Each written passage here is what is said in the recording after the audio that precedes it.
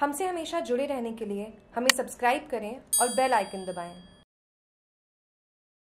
कुंभलगढ़ विधानसभा के झोर गाँव में बूथ पर चाहे विधानसभा के चुनाव हो या फिर लोकसभा के कई सालों से चुनाव की वोटिंग प्रक्रिया होती आ रही है, लेकिन इस वर्ष जनप्रतिनिधियों ने जानबूझकर झोर बूथ का एक भाग बुधपुरा कर देने से मतदाताओं ने गुरुवार को विरोध प्रदर्शन कर पुनः बूथ को झोर करने की मांग की है पूर्व वार्ड पंच मुकुंद माधव सिंह चौहान ने बताया कि निर्वाचन विभाग ने इस बार वार्ड नंबर सात, आठ, नौ के वार्ड वासियों का मतदान केंद्र इस बार झोर की बजाय बुधपुरा किया है, जो गलत है।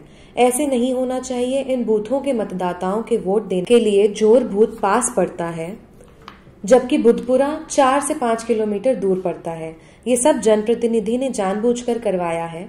इस पर प्रशासन के कर्मचारियों से पुनः बूथ को झोर करने की मांग की अन्यथा करीब एक हज़ार से लगभग मतदाता इस बार चुनाव में बहिष्कार करेंगे।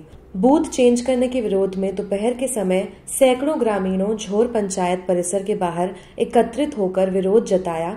और नारेबाजी कर प्रशासन से बूथ को पुनः ज़ोर में रखने की मांग की है। बताया कि सात और नौ वार्ड वासियों के लिए झोर का बूथ एक डेढ़ किलोमीटर दूर पड़ता है, जबकि बुधपुरा इनके लिए चार से पाँच किलोमीटर बूथ की दूरी पे पड़ता है।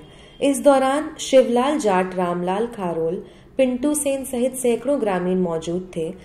अब देखने वाली बात यह है कि प्रशासन के कर्मचारी किस तरह से मतदाताओं की समस्याओं का सुलटारा कर पाते हैं। राजसमंद ज़िले से जागरूक टीवी की रिपोर्ट।